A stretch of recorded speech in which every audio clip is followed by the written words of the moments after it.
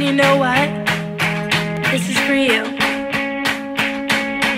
I hear what you say about me. I honestly don't believe that I waste my tears.